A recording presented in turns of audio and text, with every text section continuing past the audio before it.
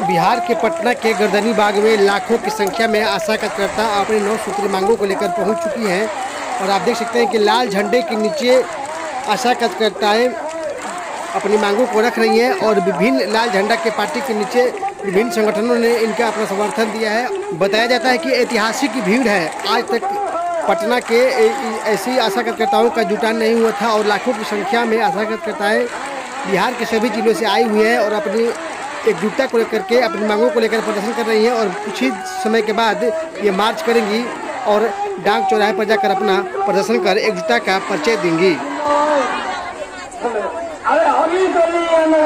है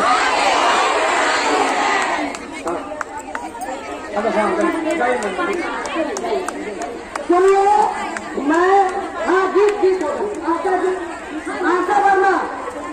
सुनिए और कौन है? शिवांशी शिवान शिवान बरौली की दमंती जी गीत गाती है आप लोग